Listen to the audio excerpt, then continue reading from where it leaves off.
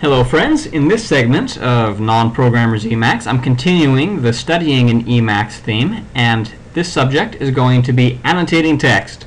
So previously I've shown you how to do reading in Emacs, and all of the things I showed you in those videos were agnostic to the mode you were in and the file you were in. All of those commands worked anywhere. Today these features I'm showing you are going to be specific to org mode because org mode is a powerful mode in Emacs that among other things allows you to do text editing and formatting in some important ways. If you don't know about org mode I suggest you look into it. It's the Emacs equivalent of the Office suite and it's extremely useful. I spend most of my time in org mode documents. So the first thing we're going to look at is marking text. So if you usually study via PDF files that allow you all kinds of highlighting and editing, you might take some adjustment to get used to what org mode offers. In terms of formatting text, it has a narrow selection of options here. There are about six ways that you can format text.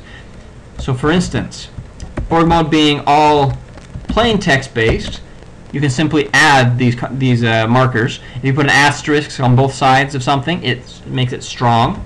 Likewise, you can make it italic, or you can underline. You can get.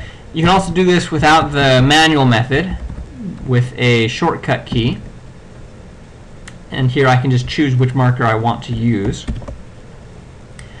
Now the nice thing about org mode is that it has extensive export options. This means that if I mark something up this way and then export it to HTML or a Word file or anything else, these highlight these emphasis options and these formatting options should export gracefully. They always have for me. So these kind of formatting might seem a little constraining if you're used to expansive options with all kinds of colors and whatnot via your PDF program or say an online scripture program.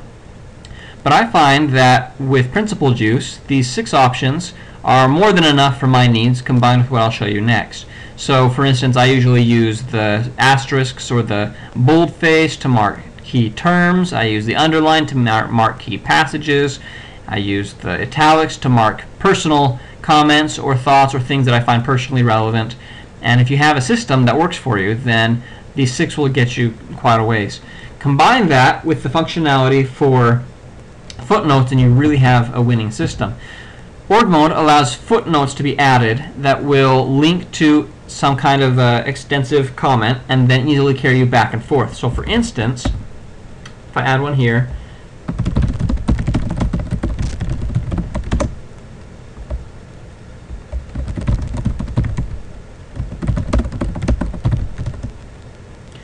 then I can easily just hop right back to where I was and then I can either just keep it this way. Now by default org mode names these with the format you see here FN and then a number but you can change it as long as you change it in both places. But you can also put down a semicolon and put in some kind of a gloss here so that you know what the footnote's about.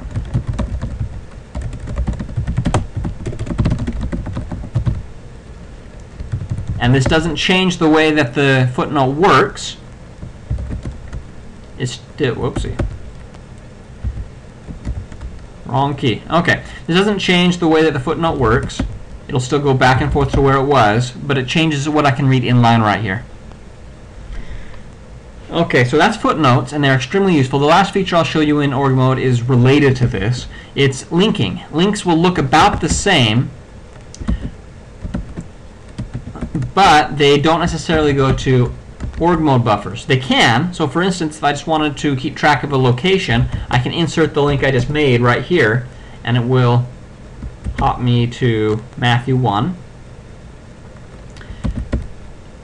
But you can also make links anywhere else. So for instance, if I go to my buffer, to my, uh, let's say, my blog, I can just come back, stick that in a link, and we see it right here. Now these links have as an underlying structure um, a basic representation that gets cleaned up by org mode, but it's, it's simple. It's just brackets where everything's enclosed in one pair of brackets and the next pair of brackets will be the location and if there is an additional pair of brackets it'll be the text you see like this.